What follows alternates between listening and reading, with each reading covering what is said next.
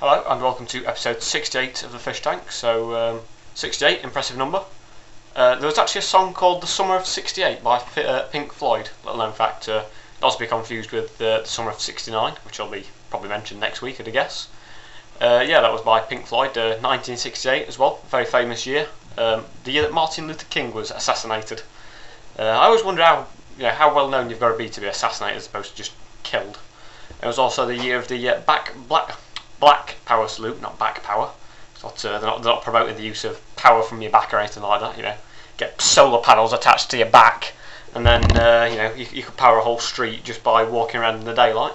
There was uh, the black power salute um, by some American athletes at the uh, 1968 uh, Olympics. So there you go.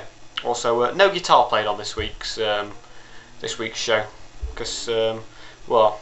I wasn't that good to be honest. I mean, uh, the main reason I played guitar last week was uh, because it was ex- exactly 18 months since my uh, first guitar lesson. So uh, you never know, I might have another one someday, but we'll wait and see.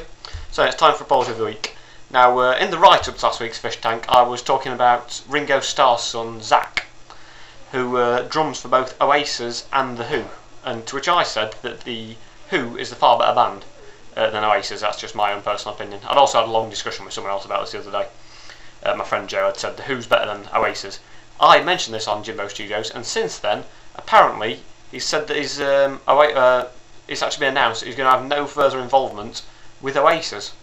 So, uh, apologies to all Oasis fans if my comments and my opinions have inadvertently led to him leaving Oasis. Didn't say Oasis were a particularly bad band, you know, just saying that I thought the Who are better, with uh, better songs like uh, My Generation, Who Are You, and uh, I Can See for Miles and songs like that. So there you go. And so, what's been going on this week? Well, uh, football is in the news. Football, because um, you know, it's good to mix sport and comedy, a bit like you know, Stoke getting um, promoted to the Premier League kind of thing. Uh, but yeah, football's been in the news. I mean, it's the FA Cup final this weekend. Uh, Portsmouth versus Cardiff. Where Cardiff, despite actually being a Welsh team, uh, compete in the English League. So uh, good on them. They've uh, overcome the language barrier. Apparently, it didn't take them very long to learn Portuguese and Spanish and French. But so good on them. You know, it's pretty impressive. Uh, actually, talking about language barrier, there have been new sets of rules imposed on um, the foreign players, particularly non-EU players. Apparently, if you're a non-EU football player nowadays, you've got to prove that you can speak English for you to be allowed to play in the English Premier League. So uh, that sounds fair enough, I suppose. Uh, although saying that, if you are still very good at speaking English, you probably still won't be able to communicate with Wayne Rooney anyway, because well, you, have got to be able to speak the language that Wayne Rooney speaks, if that's anything. Also in football, I suppose uh, it's the Champions League final in um, a week today. I think it might be, or two weeks today. I think it might be two weeks today. Uh, yeah, so Avram Grant and Alex Ferguson, good on them. They've managed to do what uh, Hitler failed to do, and they've managed to reach Moscow. Although fortunately, they've not killed loads of people on the way.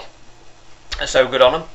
And uh, apparently, it's going to cost about fifteen hundred pounds to get to Moscow and back. It's going to be a ridiculously large amount of money um, just to go and watch the two teams play football.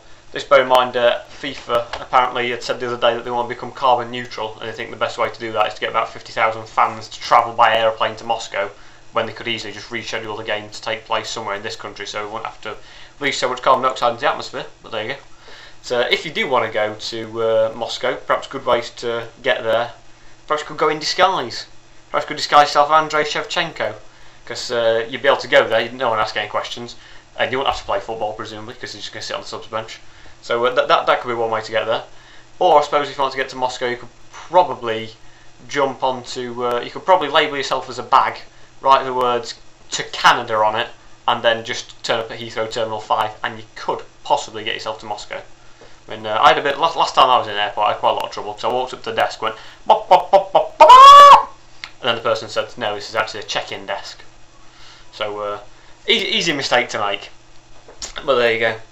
Uh, or another way to disguise yourself, or perhaps if you uh, disguise yourself as a person with a ticket, ticket holder, and then you got another ticket holder to disguise himself inside you, and then another ticket self, uh, holder to disguise himself inside them, and get an actual Russian doll thing, because they love that. Yeah? So, what else has happened in football? Sven, apparently, is uh, about to get sacked. Bit harsh, uh, particularly if he gets replaced by um, Steve McClaren, would be an ultimate insult. Um, obviously, that, that, that would be tragic after what happened at the England job. I mean, uh, apparently he's been told that he's got to clear his desk and then dismantle it with an Allen key and take it back to IKEA. So there you go. Uh, so anyway, it's time for the celebometer. Uh, who'd I like on the show this week? Well, I'd like a scientist on the show because um, I was t- I was reading the other week that apparently there is more dirt and dust in your keyboard than there is around your average toilet seat. So perhaps we'll get a scientist on the show, fully explain that one, and uh, you know talk about how to clean your keyboard effectively. I personally, this week, actually decided to clean my keyboard just because of that, and it was filled with complete rubbish, basically. You know, crumbs and bits and bobs and dust and that kind of thing. So uh, I know they say it's like, I mean, they say similar things with chopping boards. Apparently, a chopping board's twice as um, dirty as a toilet seat. But then, if you say to your mum, "Oh yeah, I've made some sandwiches for your mum," yeah, I've just been to chop the cheese next door on the toilet seat, she wouldn't be impressed. So there you go. So it's time for the uh, headline of the week now, which uh, comes from the Daily Telegraph, and it says, uh, "People who use cycles on pavements are warned they could be crushed." So uh, a bit harsh on the people who use uh, cycles on pavements. Perhaps it's Boris Johnson with his new uh, get tough on crime policy in London. A bit harsh because Boris Johnson himself is a cyclist, so making a rod for his own back there a little bit. But there you go. The, also, it's time for quote of the week as well, which this week comes from Gordon Lee, who is presumably a football commentator, which says, uh, "Even when you're dead and buried, you shouldn't lie down and let yourself be buried." So, um, yeah, sounds strange. Aside from the fact, obviously, he was buried twice, but uh, yeah, obviously he uh, recommends cremation. So, uh, I mean, I think, technically speaking, when you're dead, generally what you do do is lie down and be buried. But there you go. So uh, that's all uh, for this week's show. Before I go, uh, I'd like to leave you with news. Apparently, a lorry load of turtles have uh, crashed. Oh no, I've said that wrong. What a nightmare. That is shocking. Oh, I don't know. Terrible, terrible. I'll, I'll try again. A, before I go, uh, a lorry load of tortoises have uh, crashed into a busload of terrapins. Apparently, it has been described as a turtle mess. There you go. I'll see you next week. Goodbye.